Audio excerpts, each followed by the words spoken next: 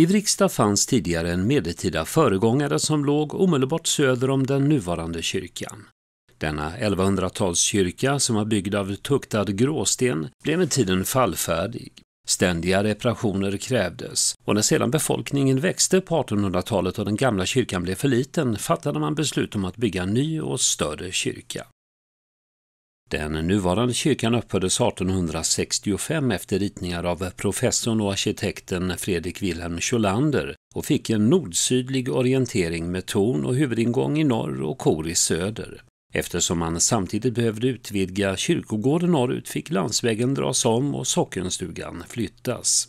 Kyrkoherden Lars Konrad Wetter lät dock ändra något på Scholanders ritning och uteslöt de två sidoläktare som arkitekten ritat in, detta eftersom det skulle skymma fönstren och göra kyrkan mörk. Som entreprenörer utsågs de båda kyrkobyggmästarna Anders Johansson från Tvärred och Anders Persson från Bollebygd och 1862 lades grunden. Sedan dröjde det till den 20 april 1865 innan själva byggnadsarbetet påbörjades. Men redan den 24 november samma år, efter sju månader, kunde kyrkan synas in som helt färdig. Första gudstjänsten skedde en dryg månad senare på nyårsdagen 1856. Men den officiella invigningen dröjde tio år, det skedde först den 21 augusti 1866 och förrättades då av biskopen Henrik Gustav Hultman som assisterades av 14 präster från kontraktet.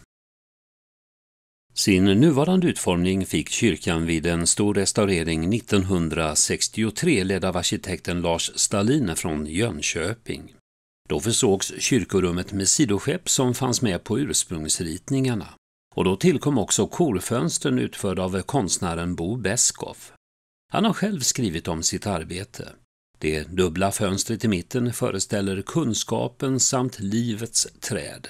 Nederst till vänster sträcker sig människan upp mot den förbjudna frukten i kunskapens träd, hejdas av det flammande svärdet och störtar ner. I den högra halvan av fönstret går vägen till frälsning genom dopet, ordet och Golgata.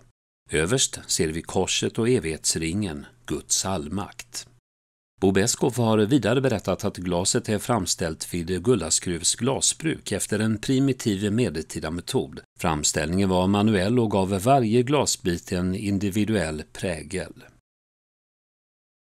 I taket ser vi den eviga staden flankerad av två änglar. Målningen utfördes av en ung grupp som studerade vid Konstakademin i samband med att kyrkan renoverades 1930. Doppunten av sandsten är huggen på 1100-talet av en stenmästare som går under namnet Finnvinder. Vid dopaltaret finns en tidigare altartavla som målades 1778 av den småländske senare hovmålaren Per Hörberg. Tavlan, som alltså fanns i den gamla kyrkan, är ett av hans allra tidigaste verk. Det är en kopia av den gamla altartavlan i Växjö domkyrka som i sin tur målades av Georg Engelhard Schröder. När Vriksta gamla kyrka revs försvann den stora tavlan och återfanns först många år senare i en bod i Svärdsjö i Dalarna. Tavlan hade följt med som presenning när änkan till en tidigare kyrkoherde flyttade dit. Tavlan kunde återbördas och efter att ha restaurerats hängdes den åter upp i Vriksta kyrka i mitten av 1930-talet. Under läktaren finns också målningar av Per Hörberg.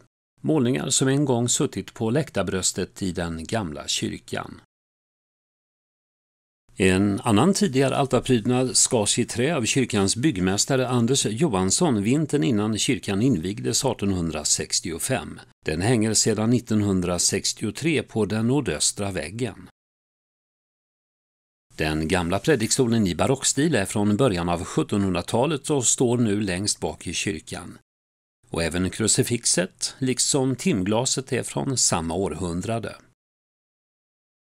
Orgeln på läktaren är byggd i Malmö 1874 men brukas inte längre. Istället använder man kororgeln byggd 1964 av den danska orgelbyggaren Troels Kron vid Fredriksborgs orgelbyggeri i Hilleröd. Inte långt ifrån Vriksta ligger gamla Hjälmsryd där skulptören Eva Spångberg hade sin ateljé. Själv valde hon att kalla sig förkunnare i trä. Självklart finns hon representerad här i kyrkan med flera verk, bland annat till höger i koret liknelsen om de tio jungfruarna. Här finns också Kristus på korset och Jungfru Maria med Jesubarnet. I vapenhuset finns en gravsten över prosten Benedictus Comstadius som dog 1640. Tornuret som kom från en anonym givare som julklapp till församlingen 1883 tillverkades av urmakaren F.W. Tornberg i Stockholm.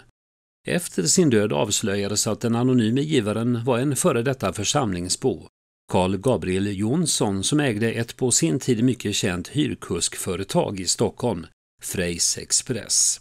1951 byttes urtavlorna ut mot den nuvarande transparenta och fick elektrisk belysning.